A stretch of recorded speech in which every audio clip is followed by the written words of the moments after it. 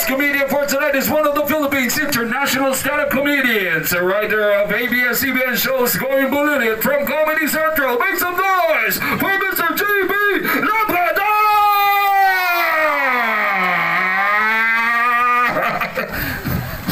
Medyo, medyo himasin natin ang konti. ha? Siya pala. Sige ba? Wala, wala. Palakpakan naman po, Sir Liala, please make some noise! So much.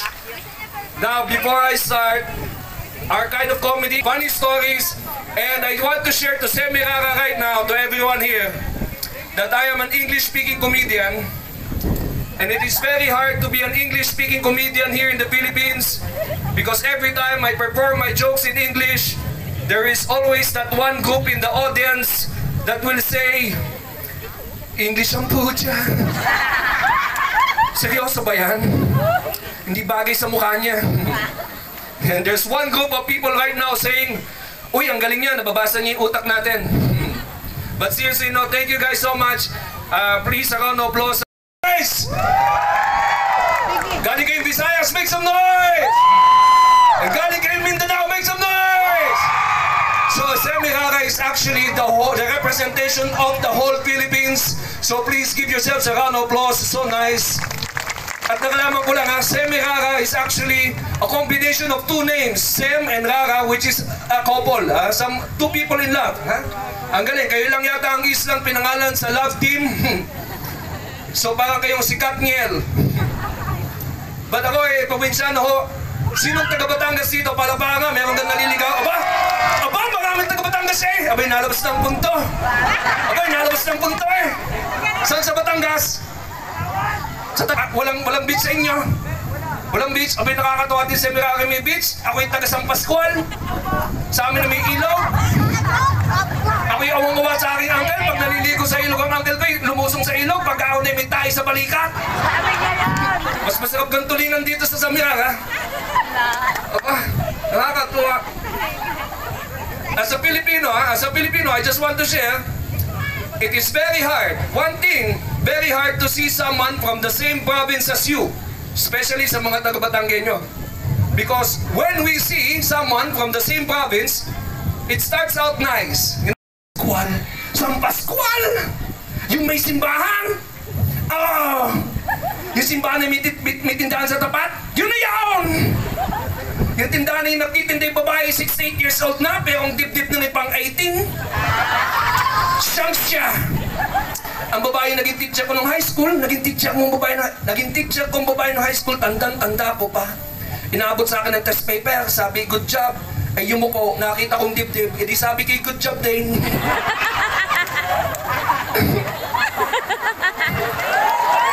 Okay, good job. Okay, good job sa inyo lahat. Okay, natutuwa kayo. Gabi, talagang ito yung takas sa buhay ng Maynila. Grabe ang buhay sa Maynila. Grabe ang traffic. Dito walang traffic sa inyo. Semira, kaya kayo yung magaganda at walang wrinkles.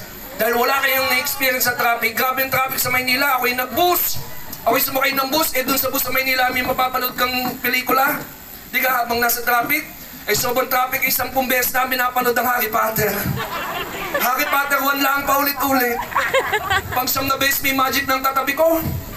Sabi nung katabi ko, okay may magic na, pang siyam na beses na natin napanood yan. Ako may magic na, ikit pumikit, ako may magic, bibila ako tatlo at may magic, di ako'y pumikit naman. Pagbilang ng tatlo, pagmulat kayo, wala nang aking halos. Ang lalaki nasa labas, Magic! Sabi ko, may araw aking Harry Potter ka. Nakakairita eh. Grabe. Eh, tuwan-tuwa eh, tuwan-tuwa. Palapakan yung mga tambay dito. Dapat ang mga tambay dito eh. Sa Pilip, sa Maynila. Wala akong nakitang tambay dito. eh. Sa Maynila ang kaming tambay. Eh sa akin eh, dapat ang mga tambay sa Maynila ay pinagsusuot ng coat and tie. Parang gano'n eh. Di ka, para parang nakatambay sila yung maganda tignan. Hindi dinadampot ng pulis. Pag, naka, pag nakita ka ng adik na naka-coat and tie, di ka pag ng adik naka- naka-coat and tie naglalakad ng ganyan. At di ka't mukha, mukha lang siyang businessman na nag-iisip ng business strategy. so ganda eh. Ang hirap sa Maynila, magastos masyado ang mga tao sa Maynila, yan ang masasabi ko sa inyo. Sa Maynila, para lang malinis ang lumalabas na tubig sa gripo, ang binabayad nila para sa water filtration ay 120,000 pesos. Maisip ninyo, 120,000 ang binabayad para lang malinis ang, ang, ang tubig sa gripo eh. Sa probinsya hindi ganyan. Never gumastos ang tao sa probinsya ng 120,000 para malinis lang ang tubig na lumalabas sa gripo. Alam mong ginagawa natin? Tinatailian natin ng medyas.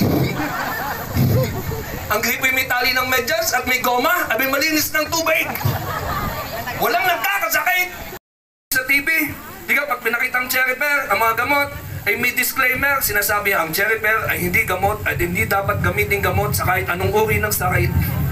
Sa loob-loob kayo, sinong gumamit ng cherry pear para gumamot ng sakit? Meron kang taong gumamit ng cherry pear para gumamit ng sakit. Meron na kang doktor na lumapit sa misis, misis, ang asawa niyo ay comatose pa rin ng anim na buwan. Pero 6 foot 9 na siya. Lagpas ng paa sa kama. Pag yan ay nagising, may basketball player na kayo. Palapakan natin ang mga nanay at tatay dito ngayon. Isa sa mga pinakanahirapan ngayong pandemic at lockdown ng mga nanay at tatay, palapakan ninyo ho yan, mga taong yan. Lalo ang online class, bumalik tayo lahat sa kinder eh. Ang hirap ng online class. Sino ka nag-online class dito? Grabe, pag nadagdagan pa ng isang taon na mag-online class ng mga bata, malalaman na nilang bobo ako sa math. Yan ang itinatago ng mga magulang sa bata, ang kabubuhan nating mga magulang. Ang hirap sabihin sa magulang na, na sa anak na hindi mo alam ang sagot sa mga sa mga tanong ng kanilang mga assignment. Ito ang sasagawin nyo pag kayo ay may mga anak na lumalapit, lalo na sa math. Ako yung mahirap sa math eh. Lumapit ang anak ko, sabi niya, "Pa- Papa, pa, tulungan mo naman ako sa algebra. Ito ang sagot para hindi malalaman na bobo kayo. At sasabihin niyo lang eh, anak, alam ko na ang sagot dyan. Pero kung ako sasagot, anong matututunan mo? Mahal kita. Kaya hindi ko sasagutan niya. Tapos bigyan mo ng inspirational quote, For God so loved the world.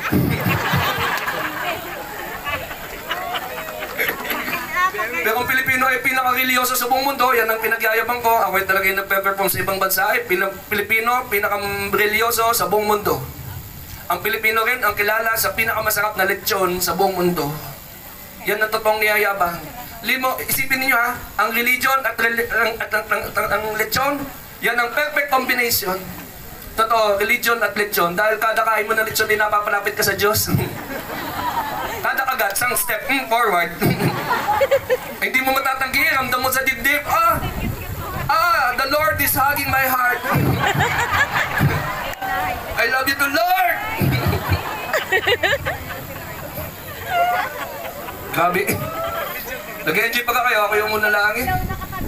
Grabe, palapakan natin ang mga Mr. Ito yung kwento ko lang, alam ko may mga bata dito eh, pero ito yung pinagdaanan namin mag-asawa. Ako yung, ako, ako, dalawa na kaming anak. Ako po yung sampung taon ng may kasama, pero hindi pa kami nagpapakasal. Dahil sa Manila, may 20% discount pag ikay single parent. Kailangan ay mauta ka kung komedyante ka, hindi ka kikita rito eh. Isa sa mga pinakamahirap na ginagawa ng magulang bago pa magkaroon ng anak ay mag-isip ng pangalan ng bata. Yan ang isang unang challenge ng magulang eh. Ano isip namin pangalan ng dalawang anak namin? Attorney, pati General.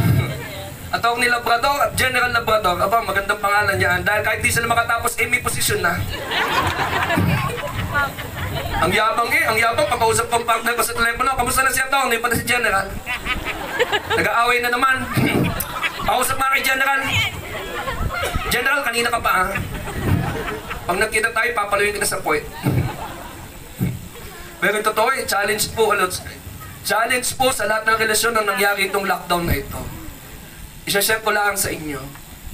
Kami ay napunta, na-displace kami sa probinsya, sa Nueva Vizcaya, ng isang taon dahil sa lockdown. Dahil sabi ng presidente noon dalawang linggo lang, eh, sabi ko, ita, magbakasyon tayo, eh, inabot ng dalawang taon.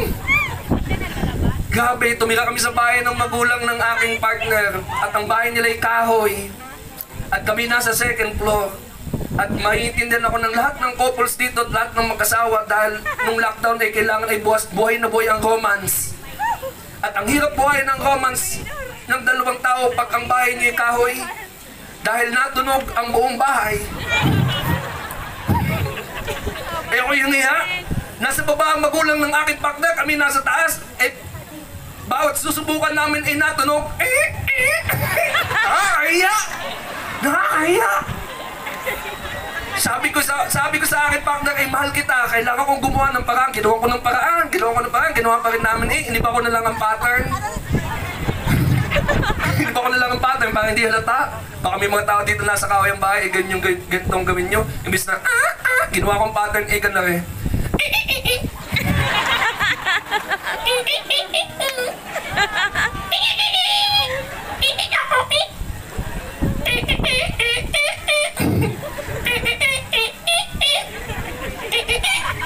Ayun, about idol lang. Lahat na nasa babae iniisip lang eh, sino may birthday. At ba't di natapos ang kanta? Ay, grabe. Sino ka may mga anak dito? Palakpakan ng mga may anak.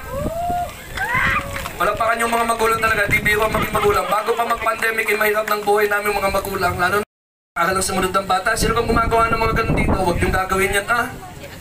Dahil para lang kumain ng tama ang bata ay binibigyan ng gadget, masama ho yun. Kaya ang ginawa namin, imbis na bigyan ng gadget, ay bumili kami ng tuta. Laking tulong ho sa aming bahay dahil mahal na mahal ng mga bata ang tuta, ang bilis nilang kumain. Totoo, pagkakain ng mga bata, ilalabas ko lang ang tuta. Sasabihin ko sa mga bata, pag hindi nyo inubos yan, ibabaglin ko sa mukha ng aso. Five minutes na iubos na, mamimimimimim. Totoo, eh, sobrang effective ho dahil pangalawang aso na namin. Ay, joke lang nga eh, joke lang nga rin. Ang, ang, ang apelido ko yung Labrador. Ito naman. Di na mabiro. Sino mga babae dito nahuli na nagsisinungaling ng mga mister nila? Palatakan nga. Ang bilis po malakpak. Ah! May mga babae hindi pumapalakpak dahil sa loob yan pumapalakpak dahil katabi ng asawa. Ba't ko nakita na ang dahil yan ang pinakamadaling magagawa ng babae mahuli nagsisinungaling ng lalaki. Yan ang pinakamadali.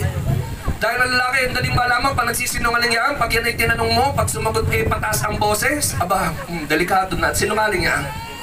Bibigyan kita ng senaryo. Ang babae, kinupunta ang mister, sabi, tumawag ako sa opisina mo.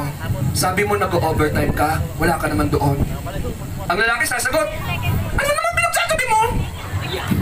Pataas ang boses, ikaw palagi nagpang-umpisa ng away dito ha? Nasa CR ko! Ang lalaki habang tumataas ang boses niyan, eh pas- palapit ang palapit sa impyerno. Pero mahirap na magsinungaling sa mga partner natin, babae man o lalaki, dahil sa internet, dahil sa Facebook na yan, bawal na. Kasama akong kaibigan ko, nasa isang club kami, tumawag ang girlfriend niya. Sabi ng girlfriend niya, nasaan ka? Sabi ng kaibigan ko eh, nasa gutuhan. Sabi ng girlfriend niya, sige nga, nasa gutuhan ka. Mag-Facebook live ka nga, mag-video call ka. Takbo ang kaibigan ko sa labas ng club, naghahanap ng gutuhan. Walang gutuhan doon sa Quezon City sa amin. Kaya kung sa tingin nyo yung nagloloko ang inyong mga partner at nagsisinungaling, pa-Facebook live mo yan. Pag yan nag-Facebook live, hinihingal. Nasa syrup! Tay, namatay. Namatay ang mic. Ari atay made in China. Tinago nyo kang resibo, may 7 days pare. Baka nagpatay yung mister. Masyadong maraming impormasyon. Kayo kayo nakapunta ng bachelor's party, meron na kang kinasal dito nagpunta ng bachelor's party. Alam niyo kayo yung bachelor's party, mga tao sa harap. Alam niyo, ikukwento ko na sa inyo nangyari sa bachelor's Magsasayaw, sasayaw na ganyan. Ako yung gumawa doon sa pinuntahan kong bachelor's party dahil yung babae lumabas sa cake, eh braso de Mercedes. Yung cake ay. Yung babae lumabas ay. Sabi ng host, ilalabas ng babae 30 minutes na wala pa. Nung lumabas ang babae sa cake, pagod na pagod, sabi, totoong cake ninyo ah. Daming layers. Tsaka hindi naglalagay ng mani sa braso de Mercedes. Dalawa kami, namatay yung isa. Grabe. Kaya ako'y tuwan-tuwa, ako'y nag-enjoy. Eh, sumubra na ako sa aking oras eh, dahil ako'y nag-enjoy dito sa, sa, sa inyo sa Semirara. Totoo yan. Kung ako'y, mag, kung ako'y ipipicture ko ang Pilipinas sa gantong lugar ninyo, napakasaya. Totoo yan. Totoo yan. Dahil sa, sa Maynila ay sobrang dami na talaga ng tambay. Grabe. Doon lang ako nakita sa Maynila ng taong uminom ng energy drink tas walang gagawin. Itinaas ang level ng katamaran. Tinanong ko eh, anong gagawin mo? Uminom ka ng energy drink? Um, gusto ko lang mas lalong mas lalong walang gagawin. Yun lang mga aking. Maraming salamat sir. Mirara!